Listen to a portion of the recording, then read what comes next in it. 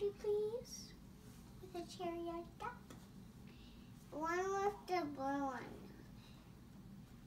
Maybe. I found it. Good job. Okay. I'm gonna put on. Press. Right, there we go. And now we want the green and the blue. I got it. I got it. I think it's down here. Where? Oh, first you need to finish the beak. See? There's a beak right here. But we need to finish the beak and then we could do that part.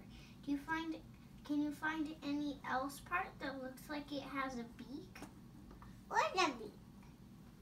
Beak scope. Top is Where's the beak? straight and the end is pointy.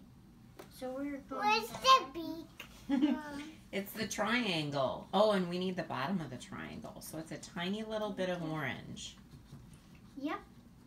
And let's look for orange pieces.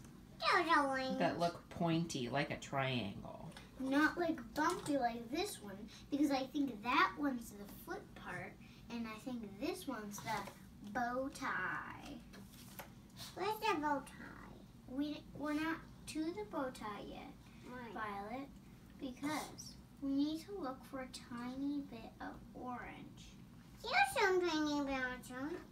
Let's see if that fits.